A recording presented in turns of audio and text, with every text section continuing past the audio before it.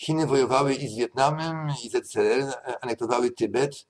Yy, No, przepraszam, nie, nie wojowały.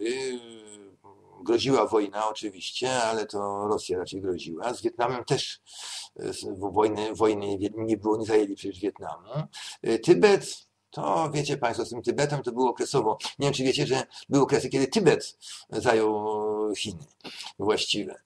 E, To jest taka rozgrywka wewnętrzna. Ja nawet, mówiąc, nie popieram polityki chińskiej w Tybecie. Ja na miejscu, gdybym ja był przywódcą Chin, to ja bym wziął taką strefę 20 km od granicy, y, a całą resztę zostawiłbym Ty- Tybetańczykom, niech sobie robią tam w środku co chcą, prawda? Nie tylko tam płacą jakiś skromny podatek, prawda, na, na utrzymanie y, armii to wszystko.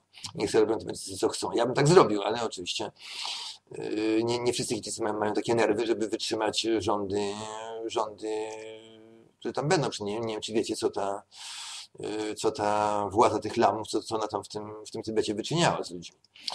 Y, Czy mogę rozumieć, co, co władza lamów zrobiła z ludźmi w Tybecie? No, mniej więcej to samo, co inkwizycja, rze- rzekoma inkwizycja, w znacznie gorzej.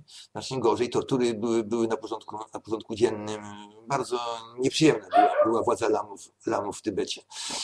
Y, Jeszcze, jeszcze, jeszcze na, na początku XX wieku. Y,